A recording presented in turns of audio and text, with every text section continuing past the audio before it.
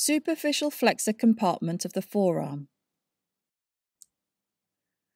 The forearm is the region of the upper limb between the elbow joint proximally and the wrist joint distally.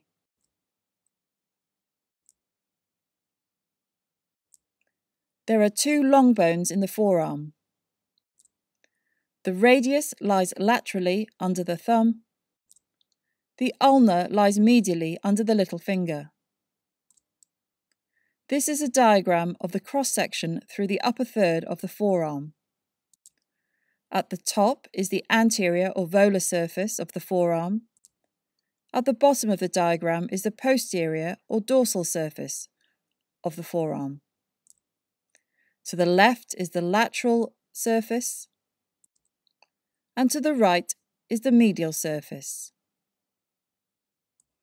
The next layer under the skin is the subcutaneous fat. This is the ulna, the interosseous membrane, and the radius. The extensor compartment is shown posteriorly, the mobile wad laterally, the deep flexor compartment next to the ulna, and the superficial flexors towards the upper surface of the cross section. There are five superficial forearm flexors. An easy way to remember the muscles is to place your opposite hand over the anterior aspect of the opposite elbow joint, also known as the cubital fossa. This is a close-up of the cubital fossa. This shows the hand placed over the cubital fossa.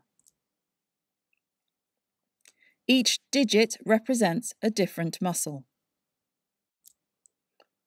The thumb is the pronator teres.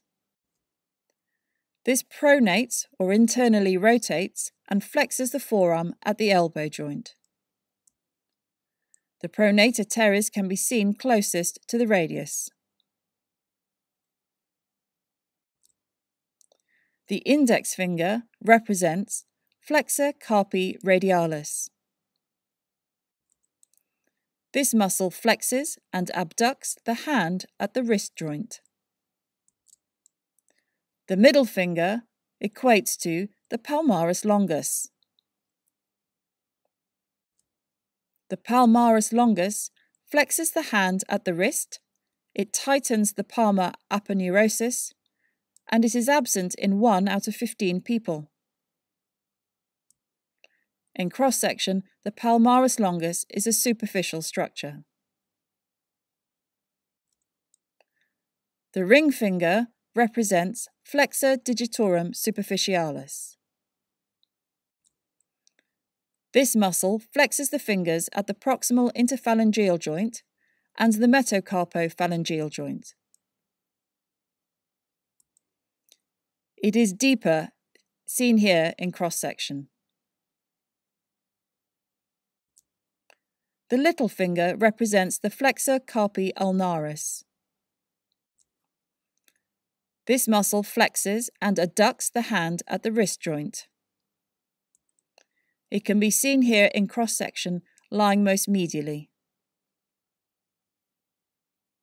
So the superficial forearm flexors include pronator teres, flexor carpi radialis, palmaris longus, flexor digitorum superficialis, and flexor carpi ulnaris. Nerves. The median nerve supplies all the superficial muscles of the forearm, with one exception. Flexor carpi ulnaris is supplied by the ulnar nerve.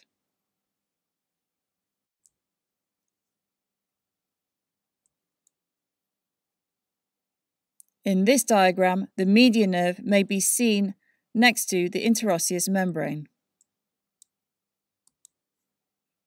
The ulnar nerve is demonstrated between the deep flexor compartment and flexor carpi ulnaris.